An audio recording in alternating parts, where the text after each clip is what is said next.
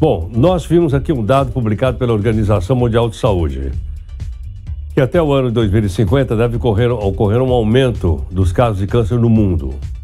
Aqui no Brasil, o Instituto Nacional do Câncer projeta cerca de 2 milhões de novos casos entre 2023 e 2025. Portanto, nós estamos aí a caminho disso. Nós pedimos aqui ao Dr. Igor Morbeck, que é oncologista do grupo Onco, Oncoclínicas de Brasília, para conversar um pouco conosco. Doutor Igor, muito obrigado por atender aqui o Jornal Nova Brasil. Obrigado pelo convite, Heródoto. É um prazer. Doutor Igor, esse avanço, esse, esse aumento de casos, ele está mais uh, ah, para o lado da, da herança genética, do comportamento, do modo de vida. Qual é a avaliação que o senhor e seus colegas têm disso? É, eu diria que em todas essas variáveis que você citou, Heródoto, é, essa, esse relato recente da Organização Mundial de Saúde, na verdade, não chega a ser exatamente uma novidade para os oncologistas, porque a OMS já tinha feito um reporte anteriormente, colocando para 2030 como câncer a principal é, mortalidade do mundo em relação a qualquer doença, ultrapassando as doenças cardiovasculares. Isso, obviamente, está atrelado a dois fatores principais. O primeiro é claramente o aumento da incidência de vários tumores, né? E o segundo, o envelhecimento da população, porque o envelhecimento da população talvez seja um dos principais riscos de desenvolver a doença, porque quanto mais tempo nós tivermos de vida, maior a chance de estarmos expostos a fatores carcinogênicos, ou seja, aqueles que levam ao aparecimento de tumores.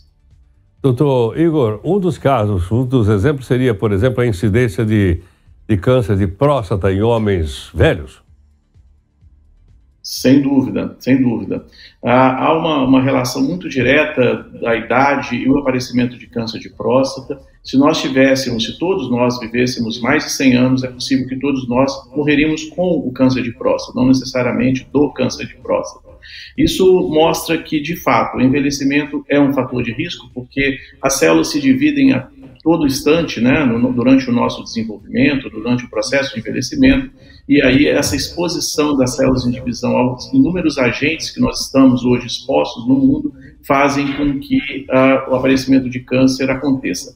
Uh, simples fato de uma divisão celular acontecer na pele, no pulmão ou no tecido do, do intestino, faz com que mutações aconteçam, ou seja, erros né, em relação à divisão, e esses fatores são fatores genéticos próprios do indivíduo, mas que, quando relacionados a fatores de uma herança né, anterior, genética, também aumenta essa chance. E claro que quando eu exponho tudo isso a fatores de risco, como tabagismo, álcool, sedentarismo é, e obesidade, isso leva, de fato, a um, um coquetel, digamos assim, né, a algo que realmente uh, aumenta substancialmente o risco de câncer na, na população mundial. Doutor Igor, então ele já ultrapassou ou ele ainda pode ultrapassar as mortes provocadas por problemas do coração?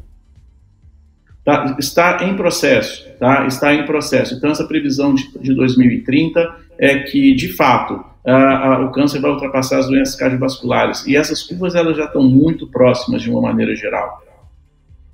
Agora, doutor Igor, como é que as pessoas podem uh, se prevenir, podem uh, colaborar para que esses, essa doença não, não o atinja?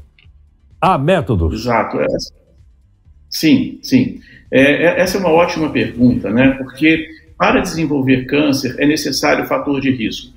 Mesmo um indivíduo que tem uma carga genética grande, é, eventualmente essa doença pode não se desenvolver, ou ao contrário, ela pode se desenvolver de maneira mais abrupta, mais rápida.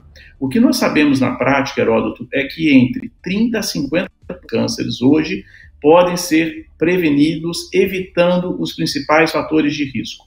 Quando eu falo os fatores de risco, eu estou falando fatores de risco próprios da, da, do nosso dia a dia, que é uma alimentação, às vezes, muito rica é, em produtos é, é, hiperprocessados, né? a associação de álcool, tabagismo é, e principalmente a obesidade são fatores que são muito claramente relacionados ao aparecimento de câncer.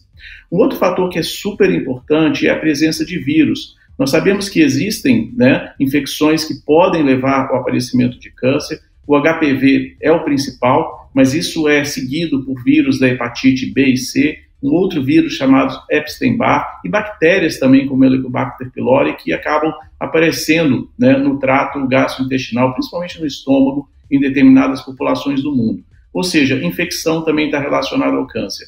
E, de novo, quando eu junto uma série desses fatores, e é isso que faz com que a incidência do câncer aumente. Então, é natural que cada vez mais nós expostos a esses fatores de risco, a incidência aumente. E aí, infelizmente, a mortalidade também tende a seguir essa mesma curva. Né? Que por sua gentileza. Muito obrigado. Eu agradeço. Doutor Igor Morbeck, oncologista do grupo Oncoclínica. Está aí, portanto, então, comentário sobre a estimativa da Organização Mundial de Saúde que até 2050 deve correr um aumento de 77% por caso, por cento de casos e mais. O câncer vai matar mais do que doenças relacionadas ao coração, como ele acabou de explicar aqui de uma maneira didática, simples, para a gente poder entender.